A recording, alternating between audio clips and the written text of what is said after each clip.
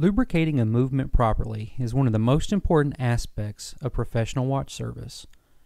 The shape and finish of your oiler and the cleanliness of your lubricants are just as important as the precision with which oil is picked up and placed in the movement. Let's take a look at the finer points. This standard black oiler comes with a stamped tip that is flat on both sides. The very end of the oiler has a sharp point which can scratch. The general surface finish is coarse and thus shows a dull matte finish.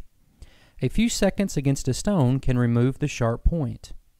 Also, a few moments against micron lapping film will polish the flats of the tip.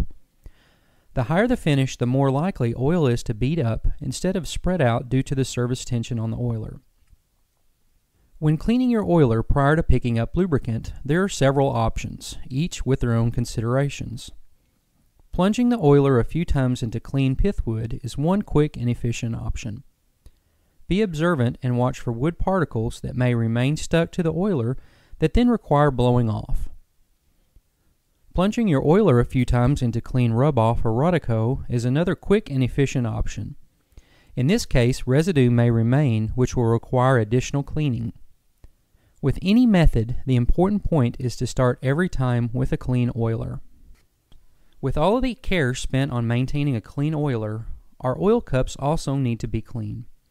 Your oil cup should be cleaned and replenished on a weekly basis. Every time you open the cup, you are introducing dust, lint, and debris to your lubricants. Taking care to only put a little lubricant in your oil cup each week will make cleaning easier and make your lubricants last. Lubricants are often used past when they should be replaced. Quality and not quantity should be considered as you purchase lubricants. It is better to purchase small quantities annually and keep your lubricants fresh than to try to purchase a lifetime supply and risk your service quality. Averaged over an entire year of watch services, the replacement cost breaks down to a few dollars a service. That's cheap insurance to ensure the longevity of the entire service.